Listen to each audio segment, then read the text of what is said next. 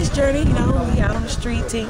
But wait, I just have a question. So this camera that you're watching me on, that's recording me right now, is as dusty as Larry's rims. You know, LB, H2O Gospel.